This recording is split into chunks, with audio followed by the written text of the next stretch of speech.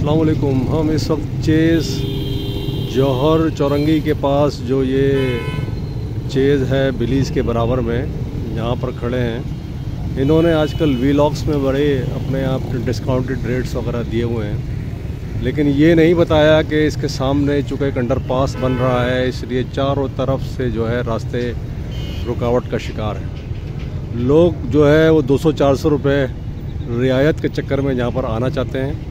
और तकरीबन हज़ार, दो हज़ार रुपये का पेट्रोल फूक देंगे। लेकिन ये है, जो ट्रबल उनको इस रास्ते में दरपेश आएगी, उसके पेश नज़र मैं ये अवेयरनेस मैसेज जो है वो लोगों को कन्वे करना चाहता हूँ कि वो डिस्काउंटेड चंद प्राइस चंद आइटम्स पे डिस्काउंटेड प्राइसेस लेने के लिए इतनी फटीक और इतना पेट्रोल ज़ाया करना ना करें, बल्कि जो है वो जहाँ मुनासिब समझें, वहाँ से ये चीज़ें ले लें। ये इन तमाम के तमाम जो कार्टेल है, इसका काम ही यही है कि ये छोटी छोटी चीज़ों पर डिस्काउंट दिखाता है अपनी चीज़ों को, ताकि इनकी सेल मुतासर ना हो। लेकिन ये बताना ज़रूरी नहीं समझते कि कोई वे आउट है यहाँ पर आने का और यहाँ से जाने का। ये इस वक्त यहाँ पर आप देख सकते हैं किस कदर ट्रैफ़िक जाम है।